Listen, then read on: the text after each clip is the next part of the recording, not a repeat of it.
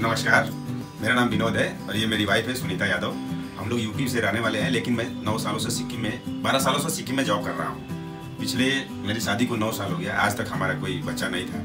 हमें कहीं भी जाने में पार्टी में या किधर भी बाहर निकलने में लोगों से इतना मतलब संकोच होता था कि हम कहीं भी किसी से मिल नहीं पाते थे, नज़रें चुराते थे। इससे देखते देखते हमने बहुत सारे डॉक्टरों को दिखाया, लेकिन कोई रिज़ल्ट नहीं आ रहा था। लास्ट में हमारे एक सर हैं, उन्होंने बोला कि आप जाके फैमिली क्लिनिक में, सिलीगुड़ी में, कविता मैडम से मिलो, मिल उनके बताने के जस्ट अगले दिन ही हम आए कविता मैडम से आके मिले। मिलने के बाद जैसे हमने हॉस्पिटल में घुसा, मैडम से बात किया। बात करते ही हमें लगा कि यहाँ मेरी समस्या दूर हो जाएगी। जो मैडम का फ्रैंक बिहेवियर था पोलाइटली बात करने का था, ये सबसे लगा कि मतलब हमारा जो समस्या है वो दूर हो जाएगा। उसके बाद मैडम ने जैसा जैसा बताया, हम लोगों ने वैसा वैसा अपना इलाज करवाया और वैसा वैसा किया। करने के बाद आज मतलब एक महीना पहले मैडम ने हमारा वाइफ का आईवीएफ किया था और आईवीएफ में पॉजिटिव रिज़ल्ट आया और आज मैडम ने हम लोगों को हार्ट बीट दिखाया। इसके लिए हम बहुत खुश हैं और हमारा जुड़वा बच्चा है। बच्चे का हार्ट बीट देखा?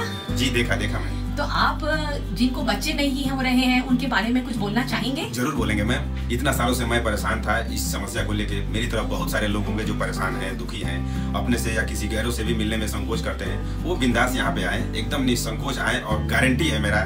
मेरी तरफ़ से हंड्रेड गारंटी है की जो मेरा इतना खराब केस में भी हम लोगों को पॉजिटिव रिज़ल्ट मिला वो भी जुड़वा बच्चा मिला। तो और सबको भी मिलेगा। आप सभी से निवेदन है कि आए फैमिली क्लिनिक में आए मैडम से मिले और अपना बच्चा साथ मिले सुनीता तुम्हारे सिस्ट थी तुम्हारे अंडे की क्वालिटी खराब थी तुम्हारे बच्चेदानी में ट्यूमर था याद है ना?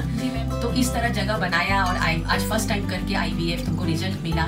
तुम लोग दोनों की खुशी देख के हमारा मन भर गया आँखें भर गई। भगवान तुम लोग को सही सलामत रखे। धन्यवाद नमस्कार। नमस्कार।